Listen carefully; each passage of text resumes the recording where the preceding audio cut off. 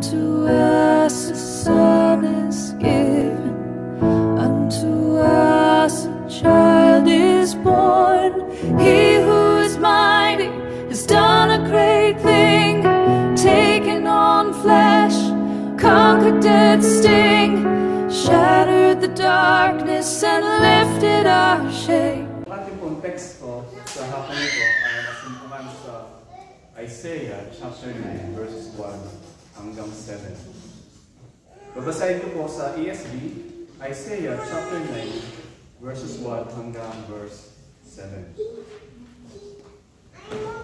But there will be no gloom for her who was in anguish. In the former time, he brought into contempt the land of Zebulun and the land of Naphtali. But in the latter time, he made glorious the way of the sea, the land before the Jordan, Galilee of the nations. The people who walk in darkness have seen a great light. Those who dwell in a land of darkness, on them has light shone. You have made, you have multiplied the nation.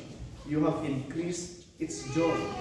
They rejoice before you, as with joy at the harvest, as they are glad when they divide the spoil. For the yoke of his burden and the staff of his shoulder, the rod of his oppressor, you have broken as on the day of Midian. For every boot of the trampling, war, trampling warrior in battle tumult, and every garment rolled in blood will be burned as fuel for the fire.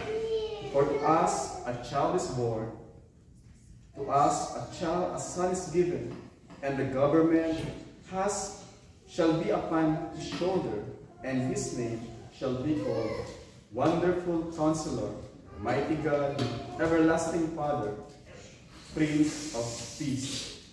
Of the increase of his government and of peace, there will be no end. On the throne of David and over his kingdom, establish it and uphold it with justice and with righteousness from this time forth and forevermore. The seal of the Lord of hosts will do this. Ito po ang buhay at salita ng ating buhay ng Diyos. You may please be seated. Once again, as we continue, let us again come to the Lord in prayer bago po tayo. Let us ask the Lord po and let's pray. Father in heaven, we do pray once again, O God, to bless the preaching of your word as you have done so many times for us in the past.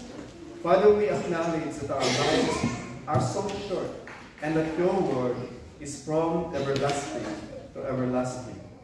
And it endures forever. And Father, as we pray, O God, that you would send out your word with great power, with redeeming and sanctifying grace, we ask our God that you would send your Holy Spirit to change us and to work to, to work in us to show us our need of Christ and to conform us into the image of our Savior and to establish us steadfast in the faith. We do pray this in Jesus' name. Amen. Amen. Merry Christmas po sa inyong mga pastor. Ngayon po ay December December 4, di ba? So, December na. Ang bilis ng panahon, time really flies by. So, ngayong buwan po na to, ito po yung unang ah, mensahe para sa apat na linggong series ng mga mensahe patungkol sa Kapaskuhan. Next week, si Pastor Lawrence.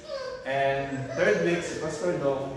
And fourth week, December 25 exactly, si Pastor uh, si Pastor Dexter.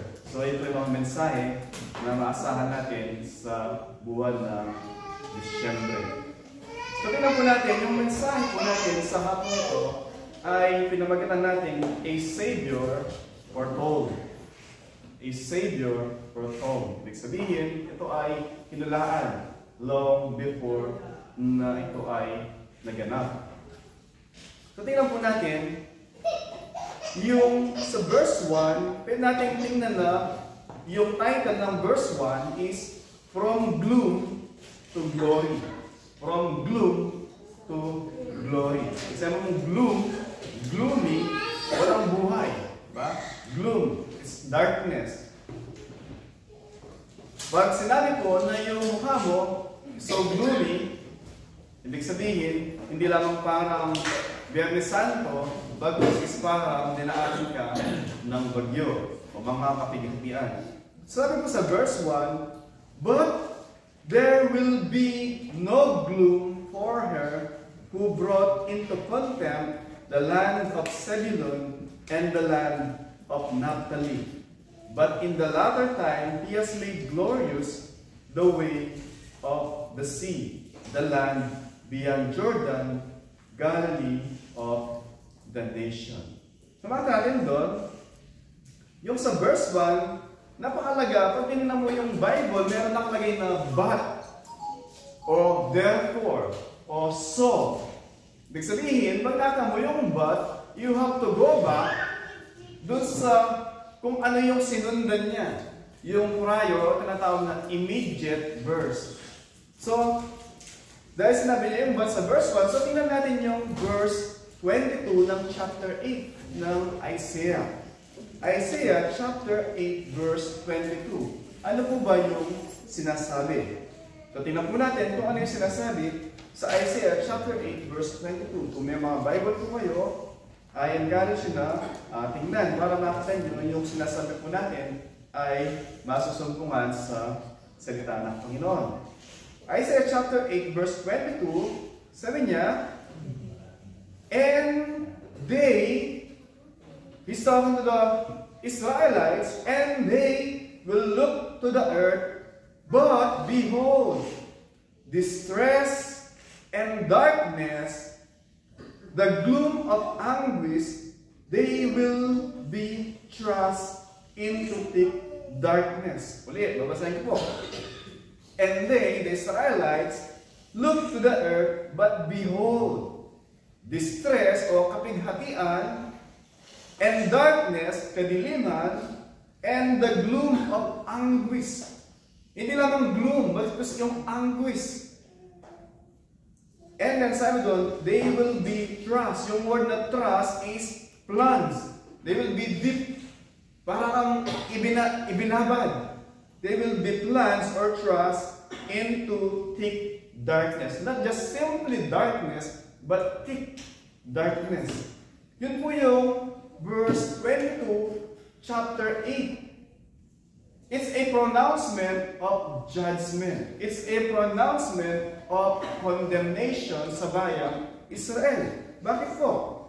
Because they have forsook the Lord, sumamba sila doon sa ibang Diyos-Diyosan, and so God gave them over doon sa Assyria. Malala yung preaching about Jonah, yung sa Luke, di ba? Tapos saan si Jonah, ayaw pumunta ng Nineveh. Why? Because the Assyrian, eto yung sinusuppress sila, ino-oppress sila. And then all of a sudden, pupunta ka doon, para yung mga tao, pangalan mo, para sila maligtas. Ni Jonah yun. Why? Because mga salbahe, yung mga Ninevite, yung mga Assyrian. But then, sabi sa verse 1 ng chapter 9, But, so after ng judgment, after ng pronouncement na ito yung maranasan nila, there will be distress, darkness, gloom of anguish, and they will be plunged into thick darkness. Verse 1, immediately after ng chapter 8, verse 22, But, sabi ka agad, But there will be no gloom. Diba? Now, it's a promise. After the pronouncement of judgment na ibibigay ng Diyos sa kanila because of their idolatry, because of their unfaithfulness, God has secured for them a future. Future na ano? There will be no gloom for her who was in anguish. And then sabi niya, in the former time, sa nakalipas, sabi niya, He, God, brought into contempt the land of Zebulun and the land of Naphtali. Yung pong lugar na, yung pong word na Zebulun at saka yung Nep- Naphtali,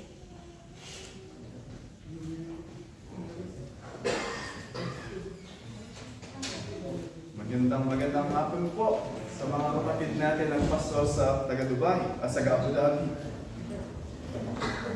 Sa po natin, pagdating sa chapter 9, verse 1, na kung saan makita natin dito yung from gloom to glory.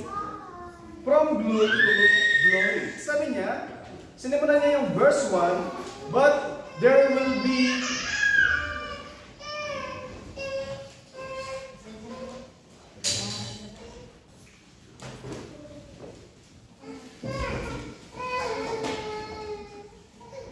Sabi sa verse 1 ng chapter 9,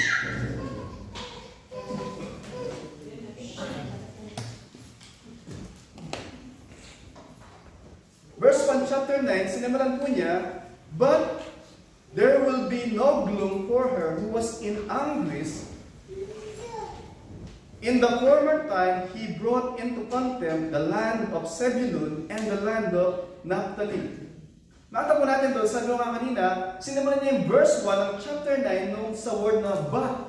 Conjunction po ito, ibig sabihin, we have to go back dun sa immediate na verse, which is yung chapter 8, verse 22.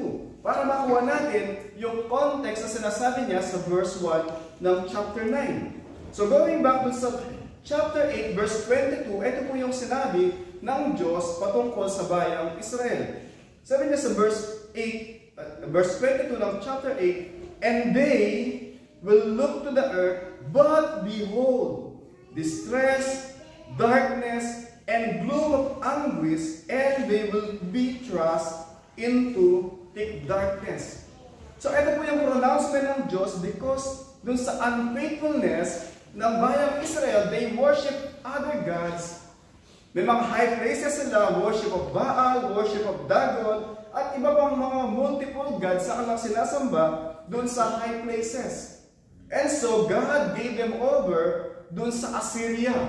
Yung Assyria, ito yung, ito yung mga taga-Ninevites. Kaya ayaw ni, ni Jonah na pumunta ng Nineveh is because yung mga Assyrian, ito yung sumasakop sa kanila. Makita natin dito, yung pronouncement ng Diyos, chapter 8, verse 22, that there will be distress, darkness, gloom of anguish, and they will be plants o ibababad sila into thick darkness. So yung context na yon, hinatulan sila ng Diyos that they will be that they will be judged. They will suffer. They will experience anguish and thick darkness and sabi doon, gloom of anguish. But then immediately, pagdating sa chapter 9 verse 1, makita natin doon yung pangako ng Diyos, sabi niya, but So mayroong judgment, may condemnation, there's a warning given to them. And yet, after ng verse 22, immediately, sabi doon, But there will be no gloom. Kanina, gloom, anguish, thick darkness. But now, sabi niya, But there will be no gloom for her who was in anguish. And then sabi niya, In the former time, sabi niya, in the former time or in the past, He brought them, He, God, brought them into contempt the land of Zebulun and the land of Naphtali. Yung Zebulun at saka Naphtali, ito yung dalawa sa anak ni Jacob. Na saan ito ay naging lugar, naging tribe of Israel. Na kung saan bahagi sila sa northern tribes. Di ba? Nung yung Israel, nahati siya sa dalawang bahagi, northern tribe composed of 10 tribes, and then yung southern tribe, ito yung Judah at saka Benjamin. So itong dalawang tribe na to, Zebulun at saka yung Naphtali, ito yung nasakop ng Assyria. They were imported. Dinala sila, ex, in-export sila papuntang Assyria. And then, nagdala sila ng mga Assyrian o iba-ibang lahi papunta dun sa uh, Israel. Kaya nga yung mga nandun ay mga Samaritan, mixed blood.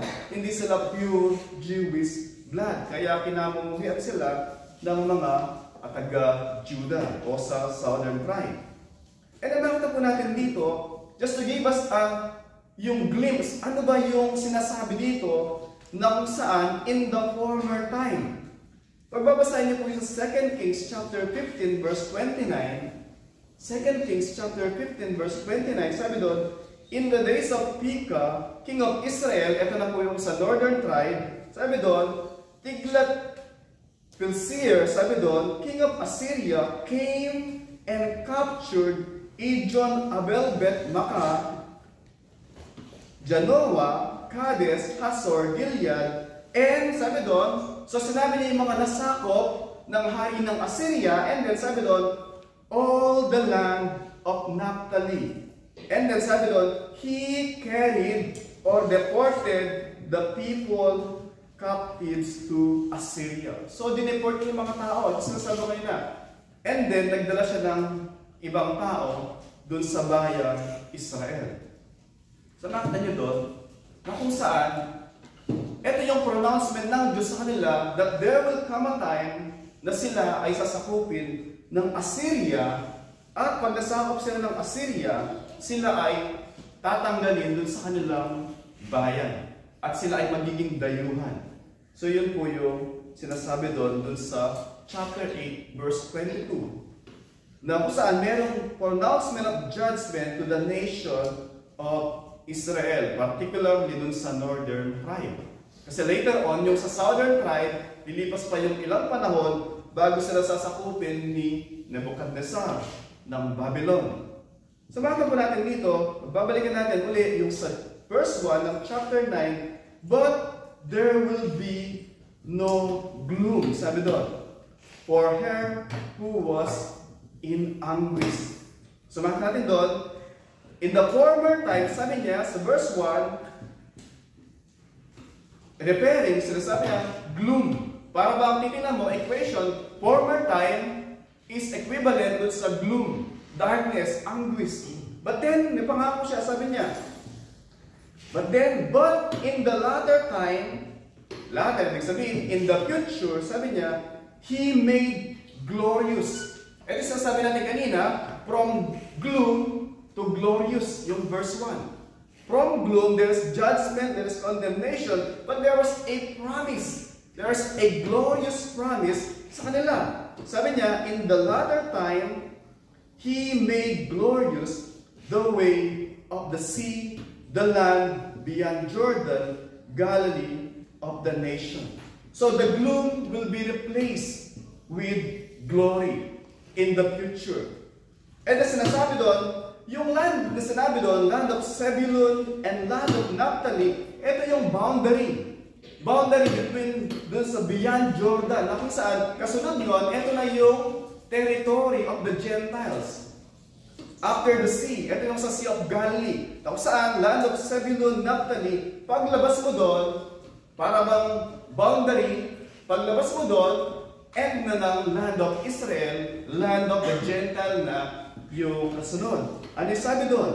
There will be glorious the way of the sea, the land beyond the Jordan of the nation. Ito yung surrounding nation after, sabi ko nga kanina, sa territory ng bayan Israel. Nakita natin doon, recounting yung pangako ng Diyos kay Abraham doon sa Genesis na kung saan, by implication, the, God, the promise made to Abraham that in you, sabi niya, and in your seed, all the nation of the earth will be blessed.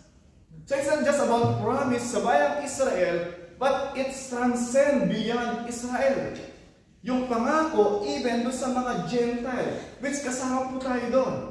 Hindi lamang pangako sa bayang Israel, but pangako ng Diyos, yung promised blessing na kung saan, in you, in Abraham, and in his seed, or through his seed, all the nations of the earth will be blessed.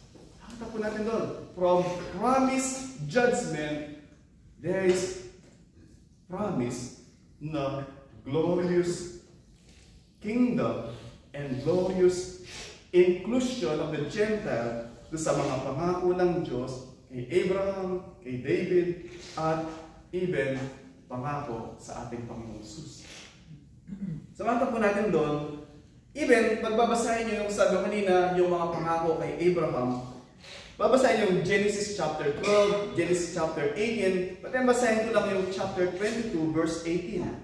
Sabi sa Genesis chapter 22, verse 18, long before nagkaroon ng offspring si si Abraham. Sabi ng Diyos kay Abraham, and your offspring, referring to offspring without S, and your offspring, in your offspring, shall all the nations of the earth be blessed in your offspring. Going back to Galatians, he's referring to the Lord Jesus Christ. That in your offspring, the promised Messiah, Jesus Christ, all the nations of the earth will be blessed. Handun po yung pangako ng Diyos, seed of Abraham, who is Christ.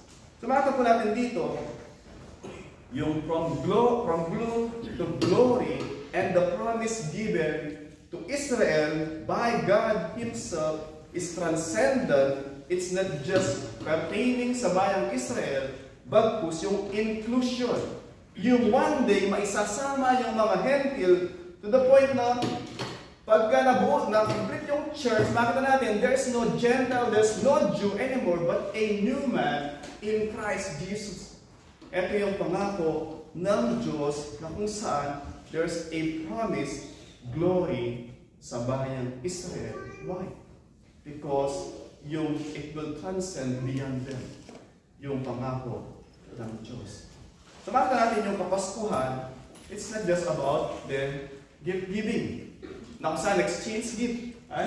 Minsan pag ginamang Paskuhan, di ba? Mga nasa Pilipinas, especially nasa abroad tayo. Oh, tatay, nanay, oh, tito, tita. Magpapasko na po. Ano po yung gift namin? At as if yung Kapaskuhan is just about exchange gift, about receiving gift from one another. And then makita po natin yung verse 2. So yung verse 1, from gloom, from gloom to glory, yung verse 2 makita natin, from darkness to light. So verse 1, from gloom to glory, and verse 2, from darkness to light. So uli, sabi niya sa verse 1, di? But there will be no gloom. But then pagdating niya sa verse 2, the people who walk in darkness, gusto ko note niya doon, sabi niya, the people who walk in darkness. Merong darkness, but then the people, they are walking in darkness, have seen a great light. And those who dwell in thick darkness. So may akta niya doon, sabi niya, una, there are people who walk in darkness. And there are people who dwell in the land of thick darkness. Yun po sinasabi doon, those who walk at yung mga tao na yung kanilang manner of life, yung kanilang pamumuhay as if they are living in darkness. But then yung sinasabi naman na pangalawa, those who dwelt in deep darkness. Ito yung kanilang citizenship. Ito yung kanilang identity. Ito yung kanilang identification. They are children of darkness. They are children of the devil. Samahan po natin dito, but then there's a promise na sinasabi doon, those who walk in darkness have seen a great light. Kanina, gloom to glory, there's a promise seed na kung saan it transcend Israel, but the inclusion of the Gentile, but then this time, sinasabi niya, the people, because of the promised condemnation dun sa chapter 8, verse 22, as the context and background, sabi niya, those who walk in darkness because of their idolatry, because they have forsook God, and they worship idols rather than the Creator, they were living in darkness, but then, because of what God has promised, He said, they have seen a great light. And then, second line ng verse 2, sabi niya, those who dwell, those who were identified as children of the devil, those who dwell in the land of thick darkness, on them has light shone. Actually, kinote po ito ng Panginoong Jesus. dun sa sa Matthew. Even tinok din ito ni uh, ni Apostle Paul sa 1 Corinthians na kung saan the light of the gospel shone. Na kung saan, sasabi doon, formerly, we are not only walking in darkness, but we are children of darkness. But we have been transferred into the marvelous light of His beloved Son, Jesus Christ, because of what Christ accomplished doon sa mga buhay po na natin. So, so, po natin dito, let us see ano ba yung nakikita ni Isaiah doon sa promise na there will be a light that would come to vanquish yung thick darkness. Para ma-dispel yung darkness, matalo yung kadiliman ng kaliwanagan. Gaano ba kaliwanag yung nakikita ni Isaiah which was prophesied perhaps 700 years bago yung fulfillment niya sa buhay ng ating Panginoong Sus.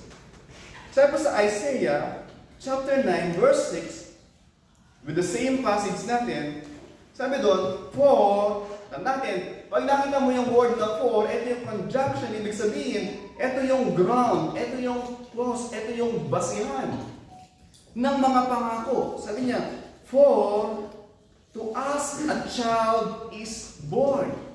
So the promises, the benefits of those promises relies and depends dun sa for to us a child is born.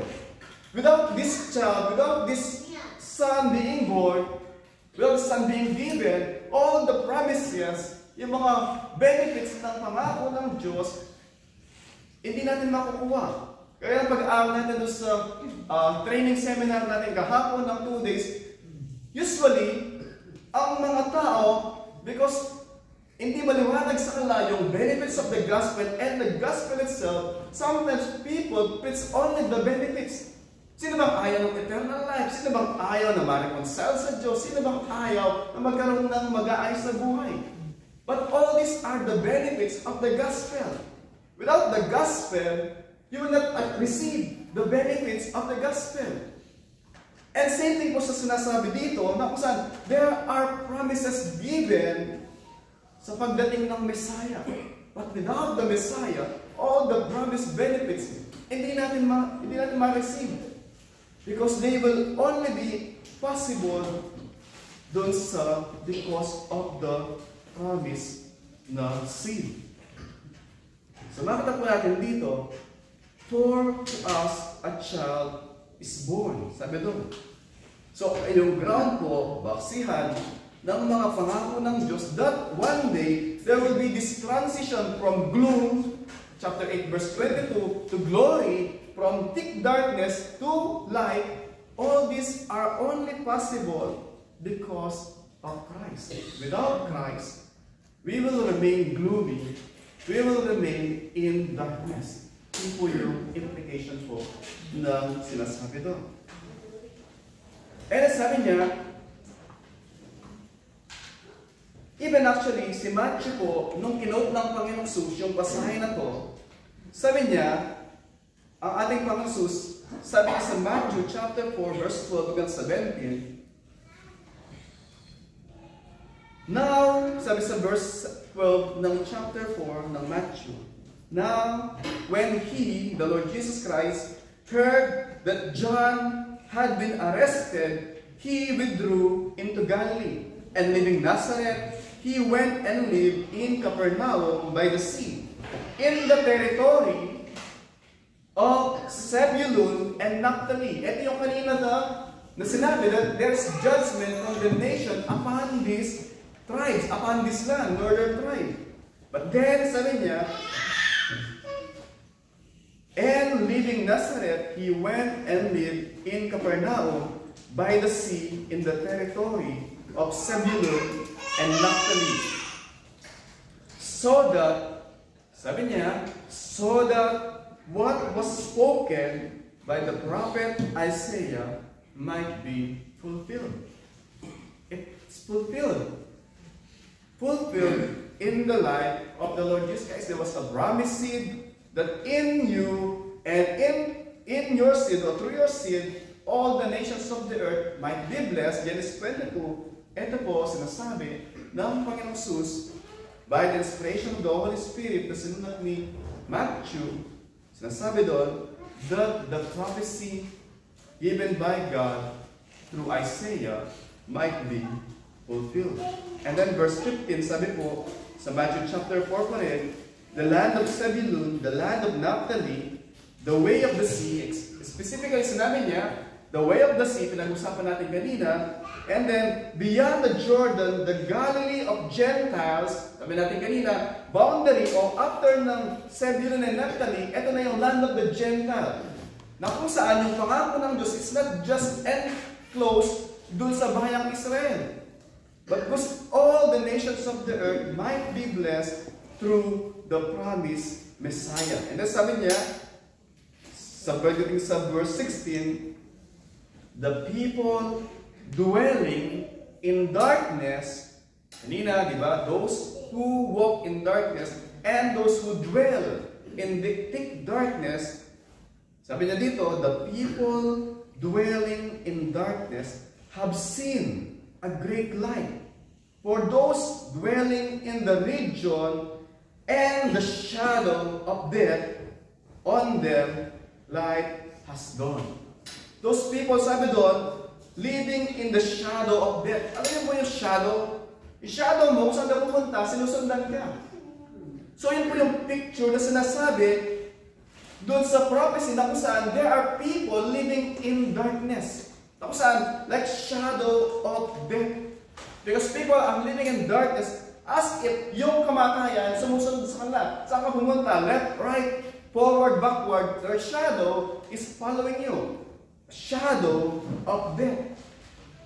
Ito po, kanina sinasabi, uh, there was a promise, condemnation given sa kanila as a warning of what is to come because of their unfaithfulness, because of their idolatry. They forsook God. And yet there was a promise given to them that there would come a Messiah who will rescue them from their gloomy condition and from their darkness na kung saan sila nabubuhay, namumuhay, and identified as children of the devil himself.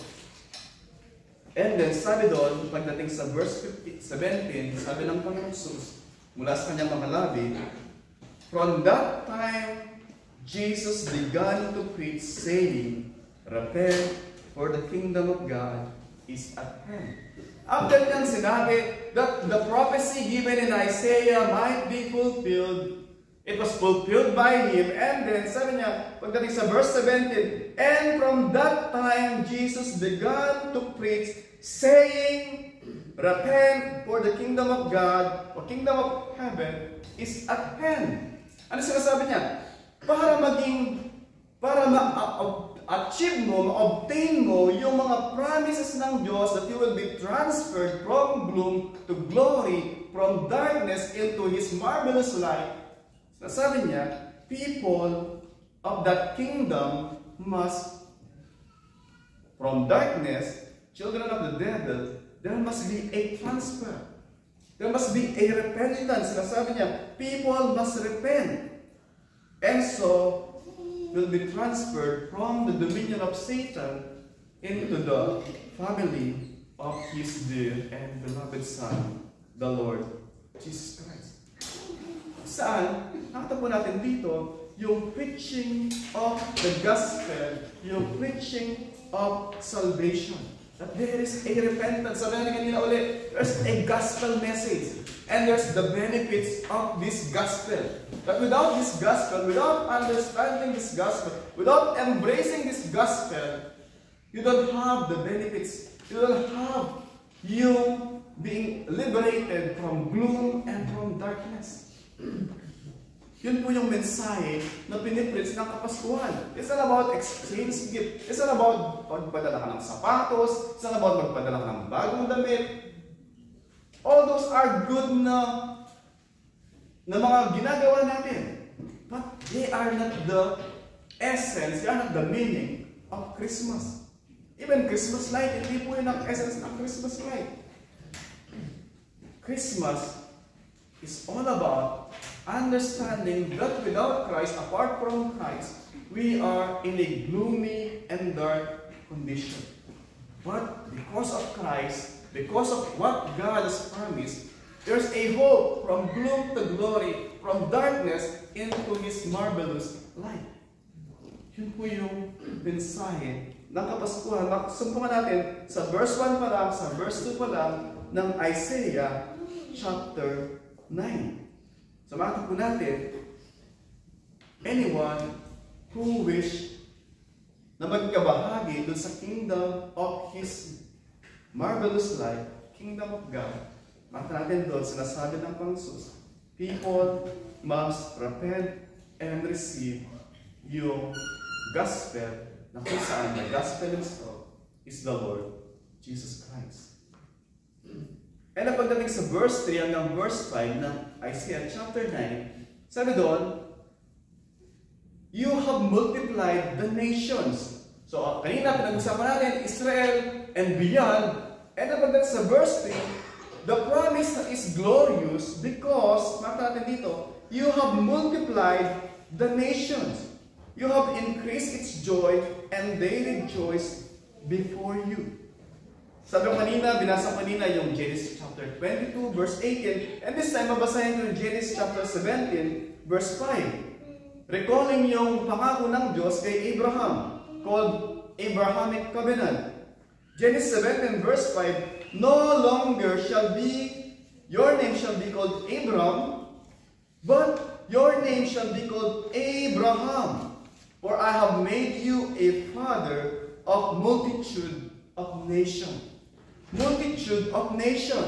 Ano sabi ni Isaiah? Chapter 9, verse 3. You have multiplied the nations. The promise given is Abraham will become a father, not just of the nation Israel, but will become a father of multitude of nations, that in him and through his seed, all the nations of the earth might be blessed. May pangako po ang ating Panginoon, doon sa pangangaral niya, minsan sinabi niya sa John chapter 10 verse 16. Sabi niya, I have, I, and I have also other sheep that are not of this fold. Ang sinasabi niya, meron ako mga tupa na wala dito sa sheepfold ng bayang Israel.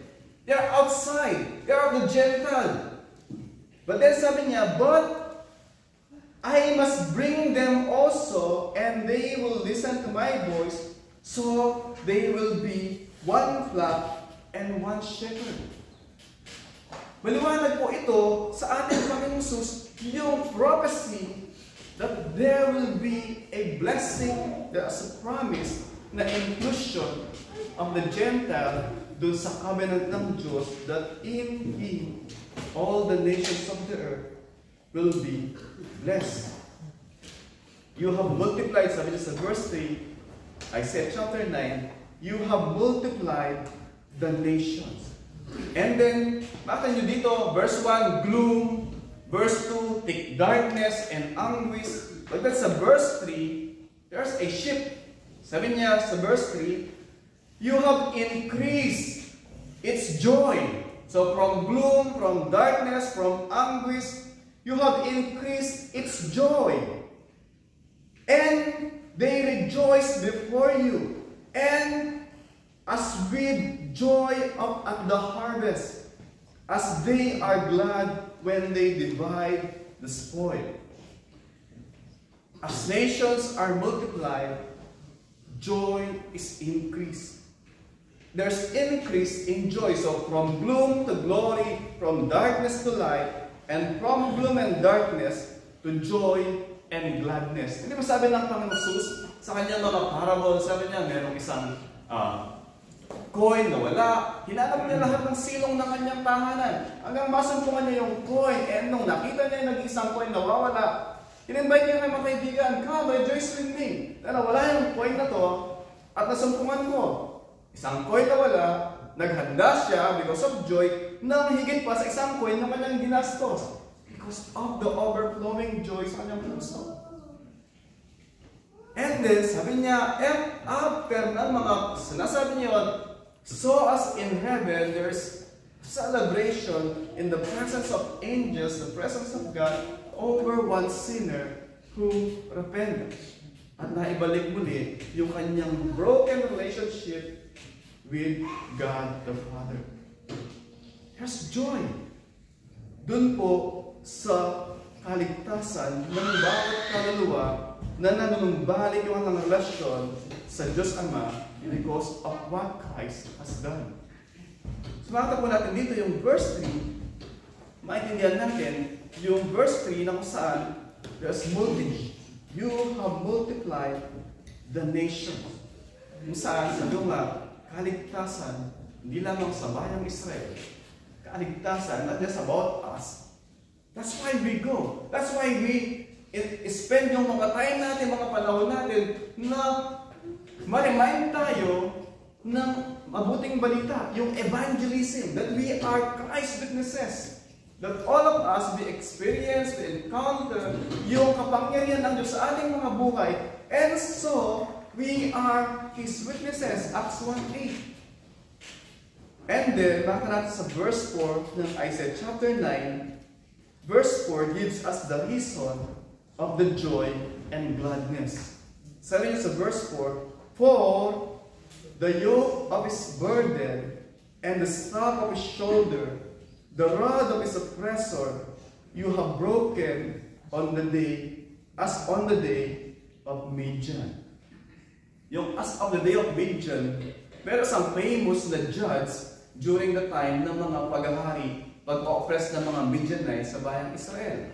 Ito ay si Gideon. Ba? Si Gideon, siya ay, nagreklamo siya nung, the, the fact na siya ay nag, nag, yung kanyang trigo, yung kanyang grain, ay kinakras niya, ano ba tawag doon, no?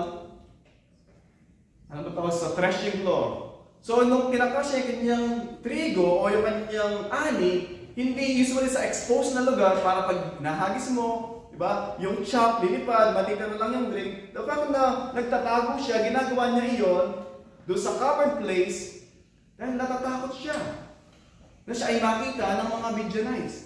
But then, nagpakita sa kanya yung angel ng Diyos, sabi niya, Oh, blessed ang sa mighty valor. Sabi sa kanya, sabi sa kanya no, uh, angel of the Lord. And then naglang, mighty, sabi niya, ako yung pinakaaba sa aking mga kapatid. At sa, sa tribe ko, tribe of Benjamin, ako yung pinaka-aba din. What kind of greeting is this? Sabi niya, the Lord is with you. How come the Lord is with us? Ino-oppress niya kami ng mga Midianites. Tapos sabi ng angel sa kanya, Surely you will deliver Israel from the Midianites. Yung kwento, fast forward, So, sabi lang Diyos sa kanya, tawagin mo yung lahat ng mga Israelita. And I will give to you yung mga Midianites. So, nakagather siya ng more than 20, I think 22,000. Kalaban nila, 300,000. Takot na takot si Gideon. And nagsabi ng Diyos, 22,000 o 30,000 is too much. Sabi niya, sabihin mo sa kanila, so doon sa mga nabilang na yon, 300,000 kalaban. Yung mga natatakot, pwede na umuwi. So, Alisan lahat. And then, may natitira pang 3,000. Sabi niya is, oh, kasi palusungan ko sila dun sa tubig. Yung iinom na parang aso, na para bang, alam niyo aso na, hindi gagamit ng kamay nila, pauwi mo na rin sila. At natira, 300 against 300,000. And then, and yet, the Lord give victory kay Gideon It's because the battle is not about victory. Para wala silang ipagyabang. But ang kalang ipagyayabang lang ay yung kapangyarihan ng Diyos. So ano point po dito? Nakita natin yung sa verse yan ang verse 5 is yung tema na from bondage, from slavery to freedom or liberation.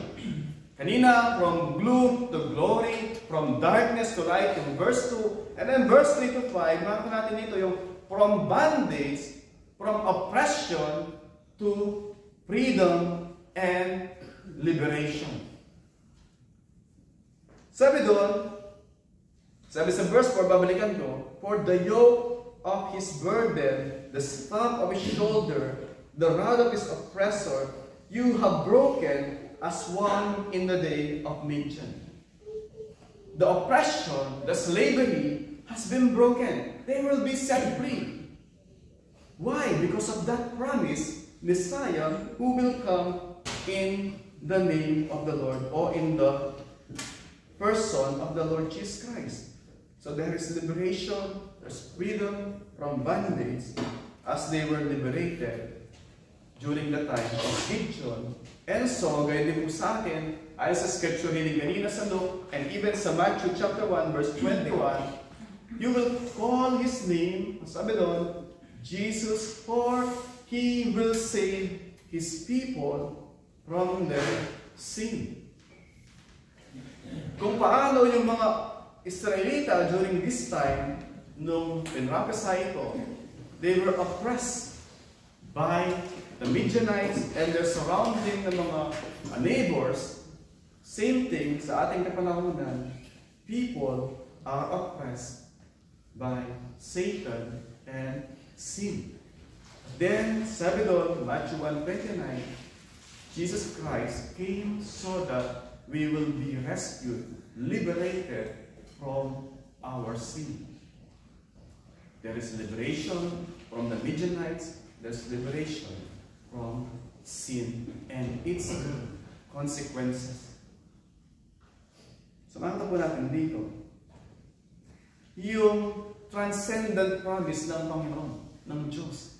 It's not just about physical liberation from oppression, from Roman Empire, from the Greek Empire, and even, hindi lamang yung liberation from the Spaniards, hindi lamang liberation from poverty, it's liberation of our soul from the consequence of sin na kung saan, unless, sabi ng Panginoong Sus, na kung saan, what a man profit, magain niya yung whole world and lose his soul.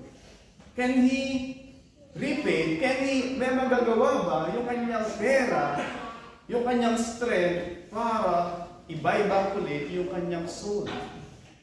Hindi po, wala po kang magagawa. Because there's only one name in heaven and on earth by which we must be saved. And that is the message po na dinadala din po natin sa mga wini-witnessan po natin.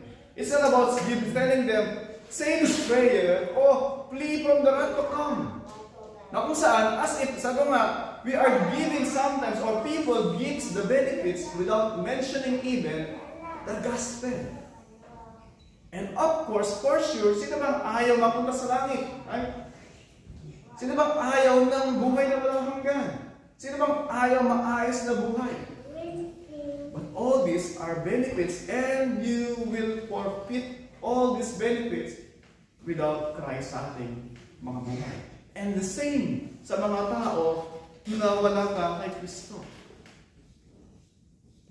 And then makita po natin dito, sa verse 5, sabi niya, For every boot of tramping warrior in a battle to move, and every garment rolled in blood will be burned as fuel for the fire. Ito pong picture na to, sabi nga na, Midian, Gideon, ito yung battle, ito yung war. Tapos saan sinasabi doon is picture of a battle of, a, of the Lord conquering, vanquishing yung kanyang enemy and winning the ultimate battle.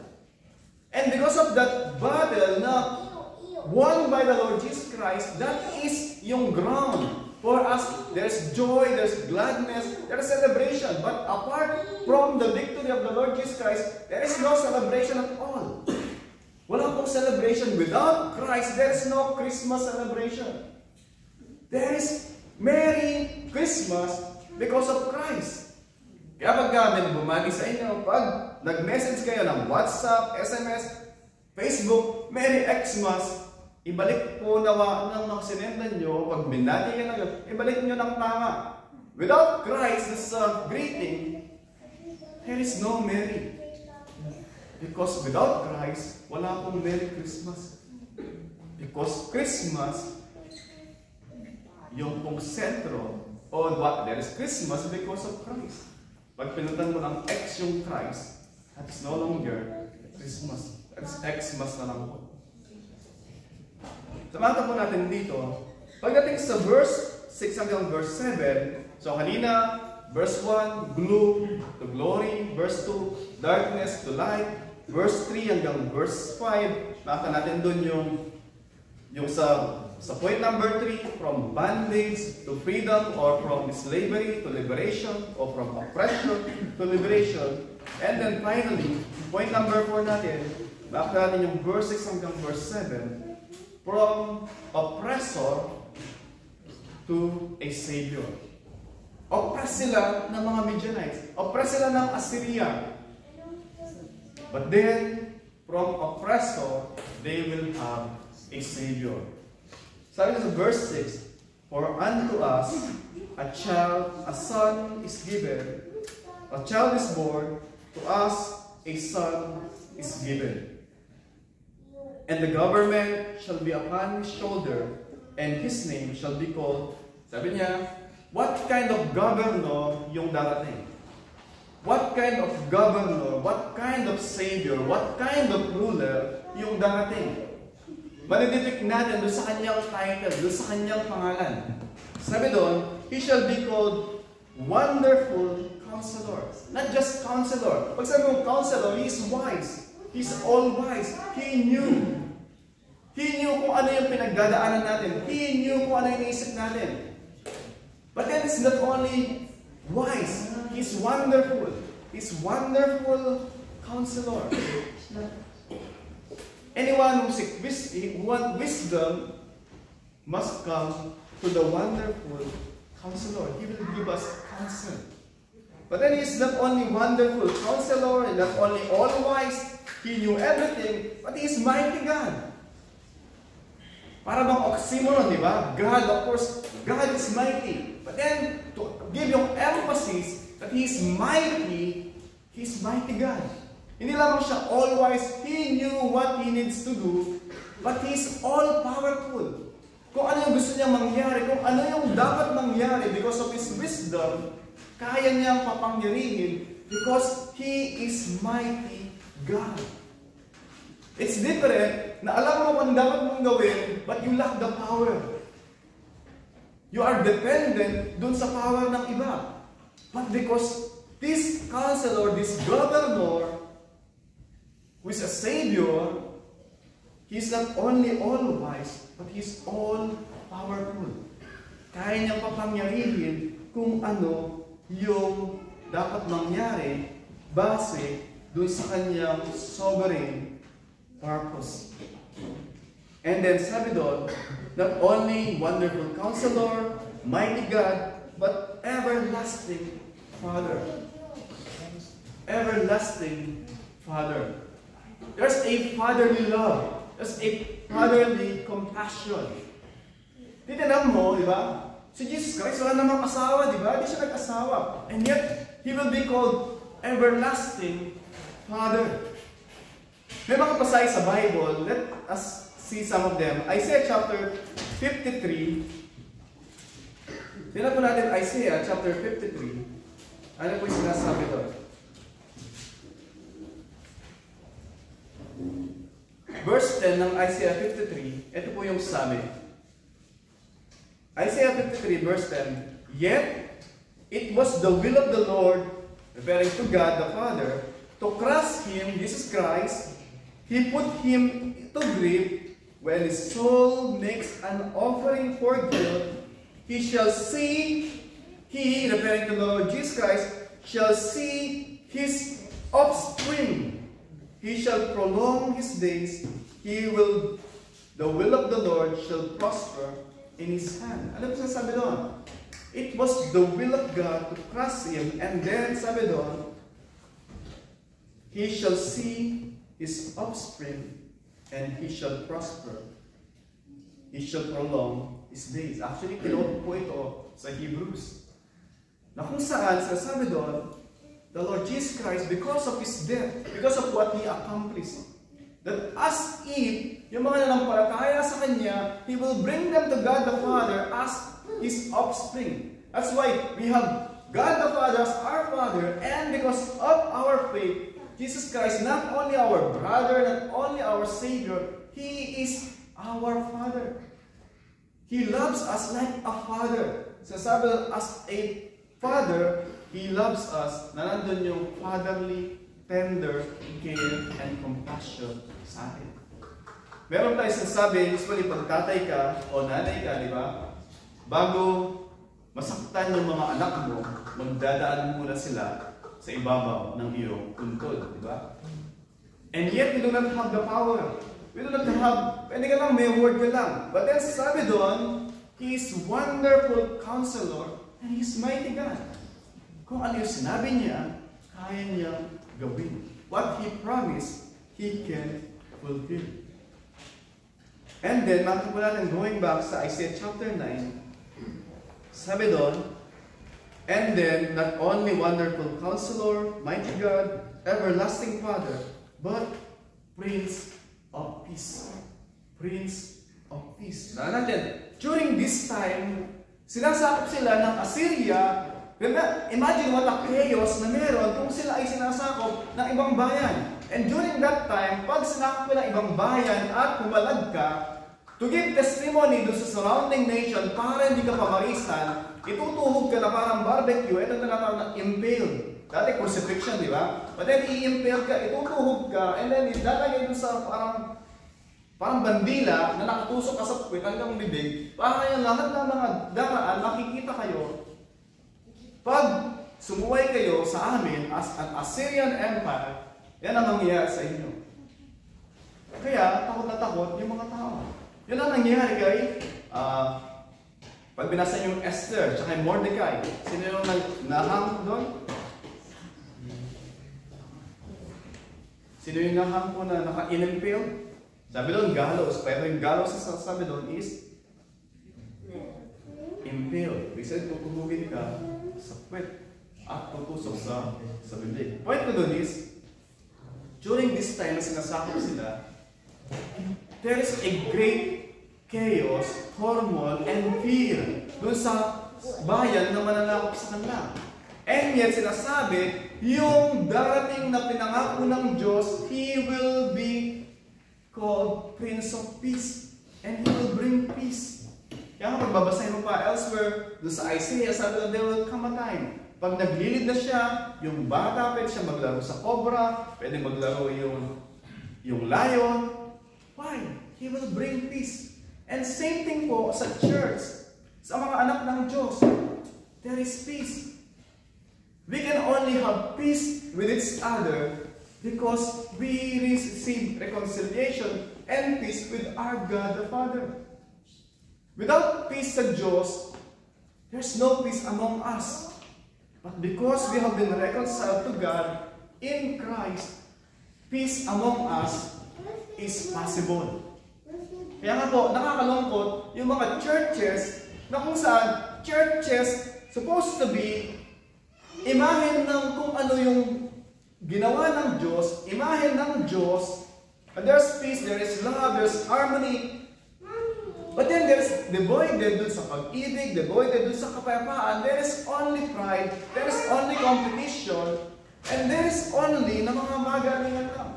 Which should not be a mark ng isang church ng Panginoong Jesus. A church of the Lord Jesus Christ should be marked with love, humility, at yung peace that transcends.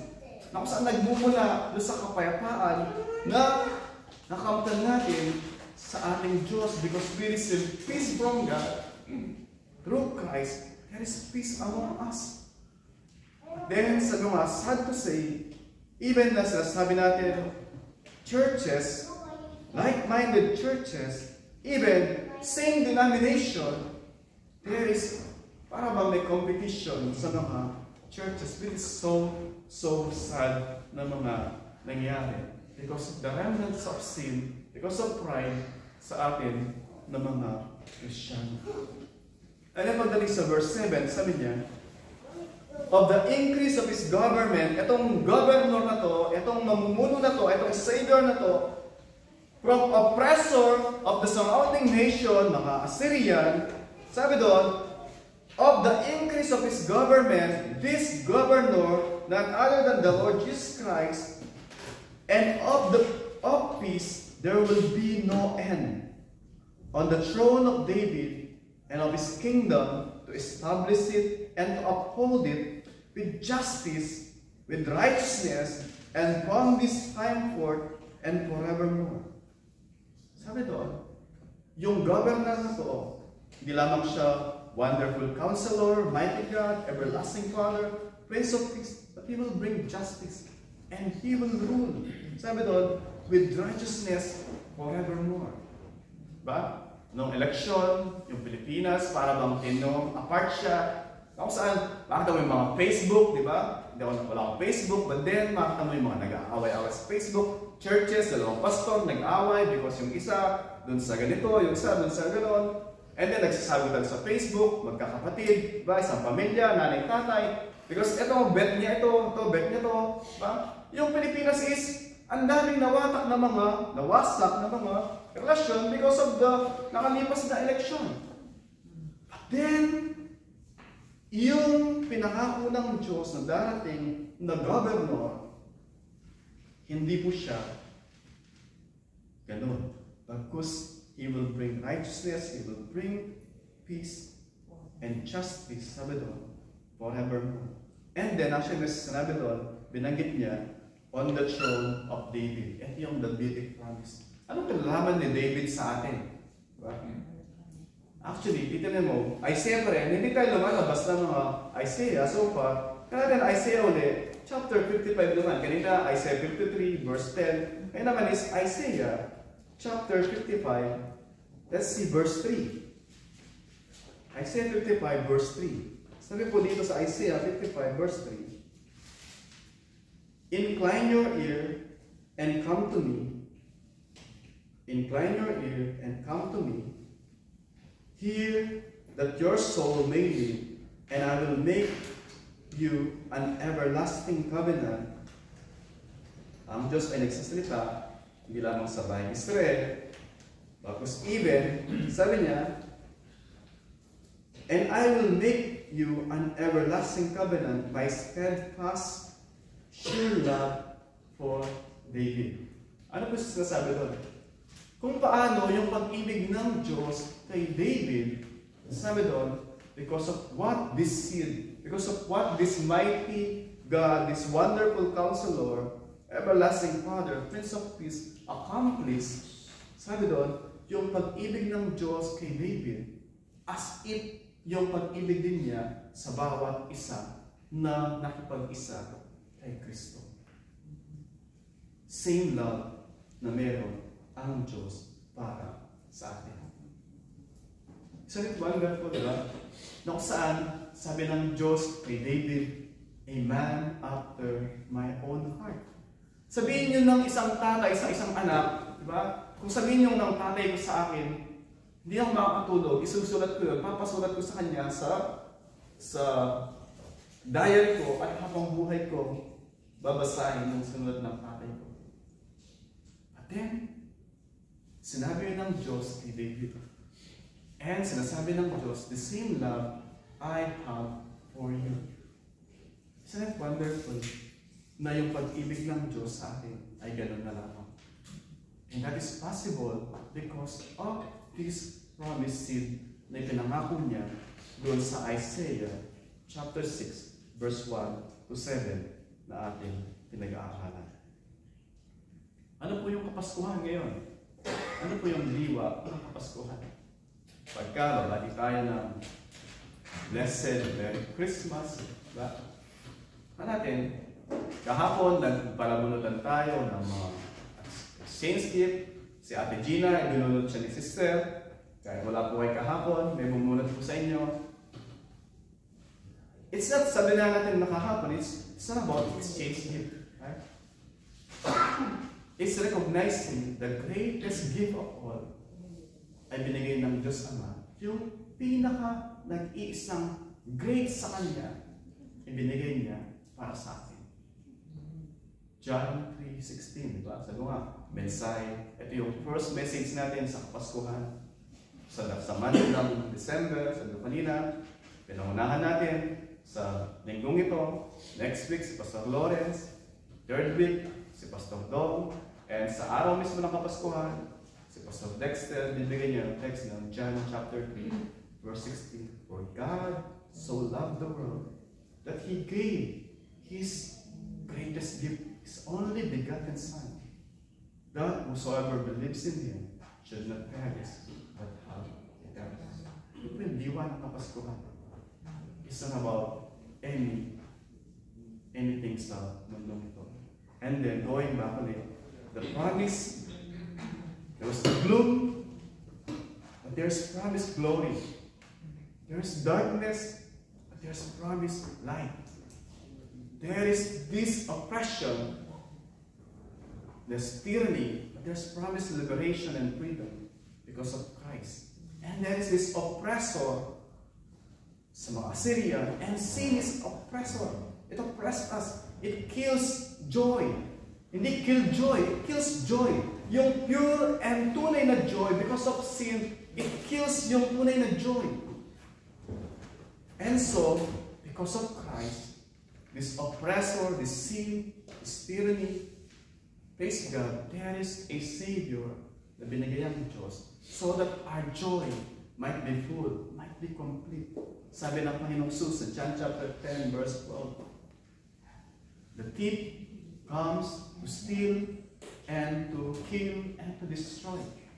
But I have come, Christ came, that you may have life and have it to the fullest.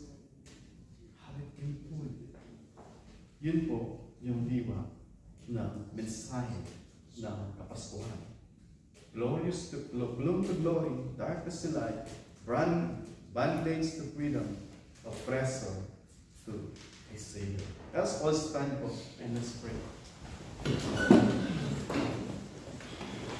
Let's bow our head and let us come to the Lord in prayer.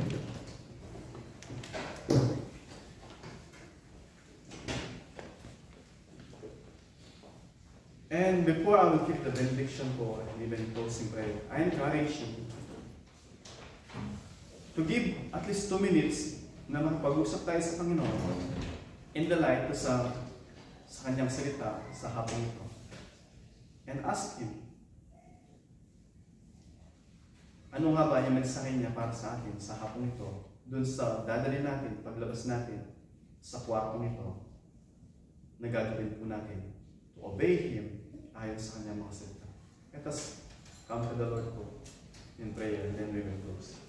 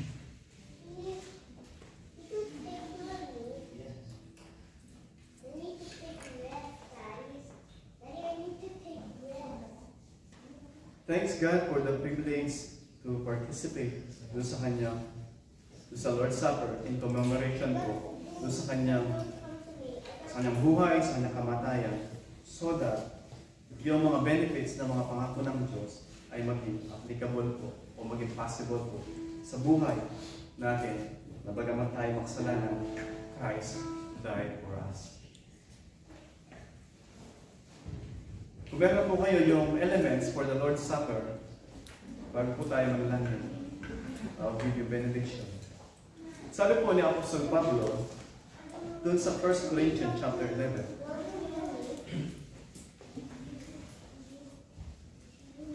For I received from the Lord what I also delivered to you, that the Lord Jesus Christ, on the night when he was betrayed, took bread, and when he had given thanks, he broke it, and said, This is my body, which is for you. Do this in remembrance of me. In the same way, also he took the cup after supper, saying, This is the cup of the new covenant in my blood. Do this as often as you drink it in remembrance of me. For as often as you eat of this bread and drink of the cup, you proclaim the Lord's death until He comes. And then meron pong solemn warning dun sa baba, sabi niya, Whoever therefore eats the bread and drinks of the cup of the Lord in an unworthy manner will be guilty concerning the body and blood of the Lord. That a person examine himself or herself, then so eat of the bread and drink of the cup. For anyone who eats and drinks without discerning the body eats and drinks judgment on himself. So, Liwanag po, sabi sa ng Panginoon, let us be reconciled sa Diyos. I will give to, ano po, na pleading po sa inyo. Una po, if, if you are not yet a baptized believer in the Lord Jesus Christ, you can pass po yung Lord's Supper. You are not baptized believer. And pangalawa po, if there are sins that needed to be confessed sa Panginoon, let us be reconciled. Let us seek the Lord's forgiveness before partaking of the Lord's Supper. And then, in context sa pangalawa kanina, sabi if you're not baptized believer, and then, it is our prayer, and next time po, makasama namin kayo by, of course, challenge is to come to us para po ma, uh, magawa po natin yung baptism ninyo kung you are a believer so that next time nandun yung joy na sama-sama po tayo mag-partake ng Lord's Supper. Let us all partake po if you have examined your heart para sa ating Lord's Supper. All good.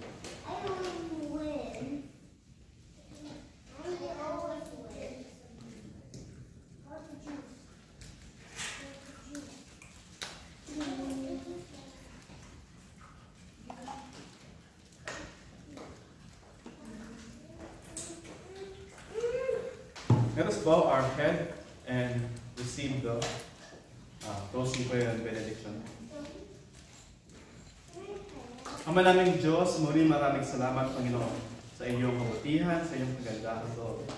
Lord, sa kabila, Panginoon, ng turmoil na meron, Panginoon, not just during the time ng mga Israelita as they were besieged by Assyria, Panginoon.